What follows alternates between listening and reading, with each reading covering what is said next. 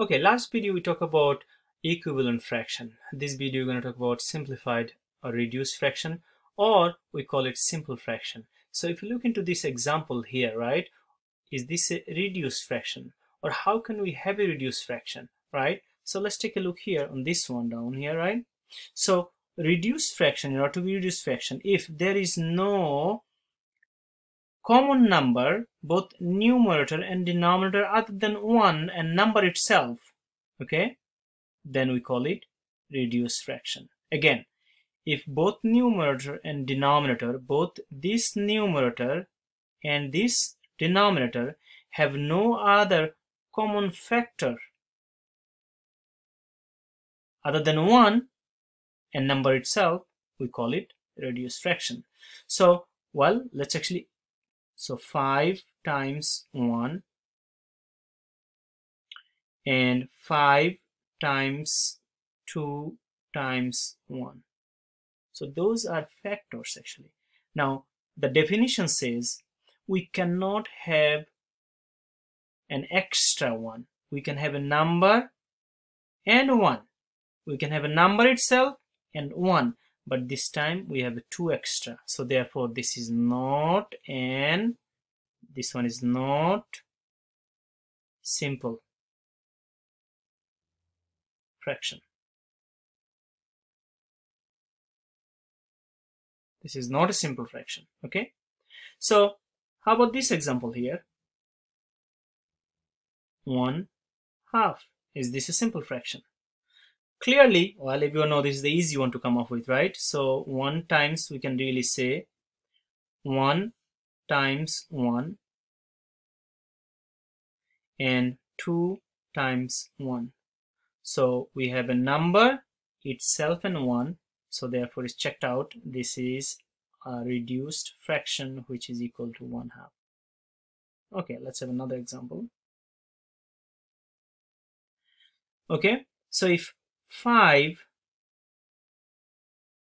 over 25. So clearly we can break it down by using the by factoring okay? So 5 times 1 we can break this one like that.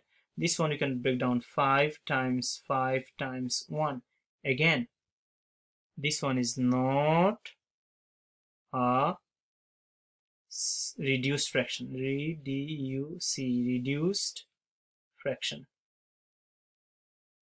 Reduced fraction. Why? Because we have one extra here, five. So we're going to have another example. Let's take a look here another example okay?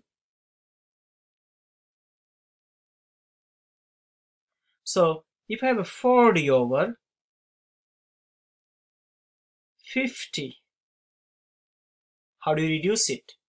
So well this one is many students so I'll just cross out zero one at a time. Or that really means divisible by 10 you just divide by 10 so you can cross out this cross out this and you can come up with 4 out of 5 and which is the reduced fraction. Okay let's have another one down here. Okay okay another example. So 14 over 12 well I'm just going to reduce it okay? So 14 over 12 so you know in the top and bottom we must reduce it. We must divide it. Remember last equivalent fraction is to multiply it. We found equivalent fraction we've multiplied. Now this time we are going to divide it actually. Okay? So we're going to divide we're going to reduce it. So we're going to divide by 2 we're going to divide by 2 so it's a 7 out of 6 which is an equivalent fraction. Again we can use the divisibility rule also. Okay? My another video has it what you know explain what is divisibility rule. So if any number is even last digit is even you can divide by 2 okay and if last number is 0 and 5 you can divide by 5 and so on and so on. You can just play that video. Okay so that's how actually we reduce it. So one more before I go I can show you one more example here okay? So what is that? I'm gonna have it 56 over 84 so how do you come up with a reduce. Well you can use your calculator but you want to know how to do it manually also. So since this last digit is even so we divide by 2 easy and simple we divide by 2 okay? So 28 over 42 look still is even so what do we do?